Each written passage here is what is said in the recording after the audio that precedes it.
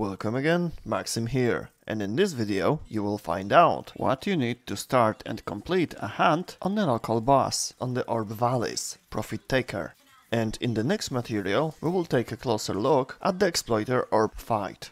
Just like the previous video, this material is not intended to describe the necessary mechanics, which, when used, will reduce the combat time to a total minimum.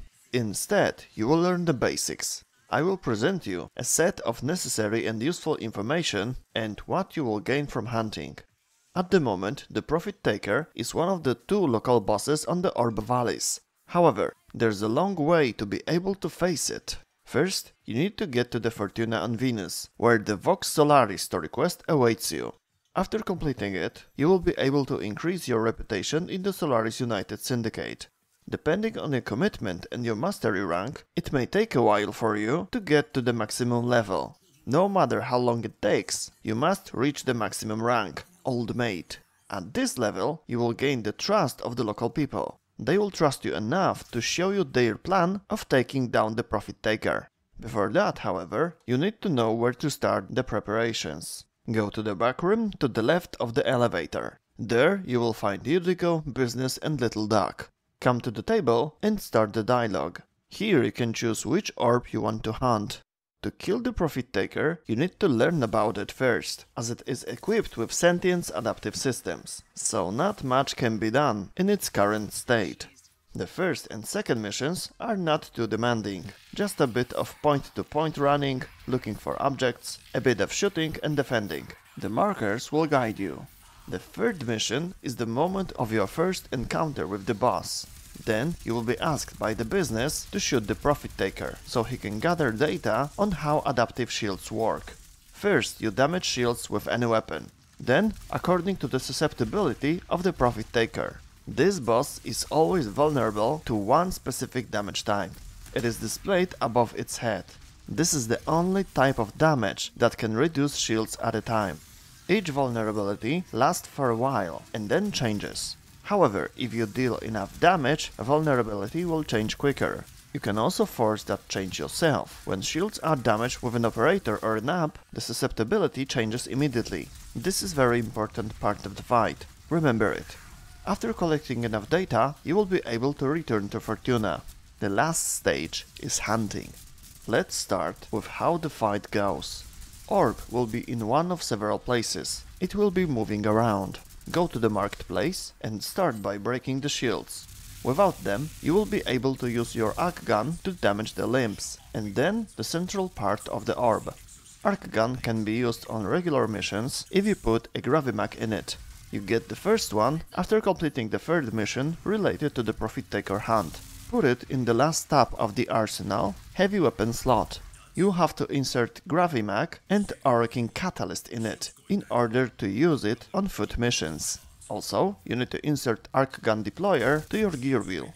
More Gravimag blueprints can be found in the Tenno lab in Dojo. After dealing damage to the orb for the first time, it will fire special pylons to protect it. You have to get close to the pylons to destroy them. Close range is almost always required because the pylon is in protective bubble. You can walk through it, but not shoot through it. Unless you have Zenith, one of the weapons available from the daily tribute. The first chance to get it is on day 100, then every 200 days. It has a unique property on the alternative shot, infinite punch through, so you can shoot pylons with it from anywhere. But without it, you can just go through the bubble and destroy them from the inside. All destroyed pylons will allow you to damage the limbs and the body, after this stage, the shields come back. Again, you destroy them by adjusting the damage to the current vulnerability, or you change unwanted ones with your operator. After breaking them, you damage the limbs and body. Then the pylons will come again, but this time there will be more of them. After their destruction, there will be a time stage. You will have 5 minutes for shields, limbs and the final destruction of the orb. It will drop rewards after a short animation. After picking them up, I recommend running or flying away, because the orb will explode and this can wipe out all players in a large area. This is how the fight looks like. Now let's move on on the tips on what and how to use. Let's start with warframes. Generally, there are two approaches. Either you take something you don't get killed in easily, or something that generates a lot of damage. The second option is harder to survive, yet it is possible, and the mission will end much faster. When playing solo, I recommend second approach. While playing in a team, it is good to separate tasks. A common and convenient choice among players is Inaros or Rhino, as the ones who die less often and keep an eye on the rest of the team. The Rolling Guard mod can be useful here, as it gives you temporary immortality and removes all statuses. It is available through arbitration. This mode is unlocked after completing all locations in the navigation. You will get Vitus Essence there, and you can buy this mod for 20 of them from shop in the Hexis headquarters on the relay. However, for players who have this mode, it is relatively easy to obtain, so you can also trade it with someone. Another useful mod for Warframe is Sure-Footed, or its prime version. The regular one gives you 60% chance to resist knockdown, primed one guarantees it. Okay, let's go back to the warframes. What else can be useful? A DPS, any warframe that can generate a lot of damage. Personally, I like Chroma, but Volt or Mirage will also do the job. Wisp can be useful as a support and buffer, Mesa for killing mobs. Ember can do that too, and also provide a large amount of energy orbs, with an augment on her fourth skill. Other characters can be used here too. These were just a few examples. Choose the one you are effective with. And don't die too often. What weapons you should choose? I already mentioned Zenith, but it is not necessary. Weapons able to deal a lot of damage in short time are definitely useful, like sniper rifles, or something with high fire rate. Melee weapons may also be good here, Zaw with Exodia Infection Arcane is a popular choice.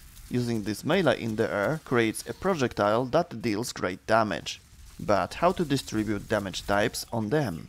As a full team, it is not a problem to share the elements on different weapons.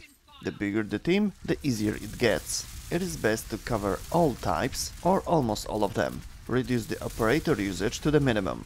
But going solo, it is not that simple anymore. In fact, it is possible to make one person carry weapons with all possible damage types, but it requires a lot of knowledge. There is primary weapon, secondary, melee, arc gun, operator's weapon, and the necramech, that owns its own arc gun and exalted weapon. So there is still a lot of possibilities. However, for those who prefer simpler solutions, a way to go is to make a few good builds on weapons and change the unwanted susceptibility with the operator. And what about the time per run? At first, it may all seem very complicated to you. There's a lot going on on the battlefield, and you have to remember what to do and when. Don't worry if the first attempts take more than 10 minutes. After a few tries, you will reduce mission duration. 5 to 6 minutes are pretty good. The best players are able to kill Profit Taker under a minute, but such attempts are near the perfection and require a lot of knowledge about the aspects related to this boss. So, what do you get from killing the Profit Taker orb? The guaranteed rewards are debt bounds, worth 2200 after exchanging them at tickers for Solaris United standing points. Except that 125,000 credits, which can be multiplied with a credit booster, or with Smeeta's charm, or 4th chroma skill. You have to use it under the orb's back when you see the reward for completing the mission. On top of that, you also get Crisma Toroid, which gives you points at Vox Solaris. I will discuss farming the Syndicate in the next video. Among the rewards, dependent on the RNG, are mods and Bloodshed Sigil, 3% chance.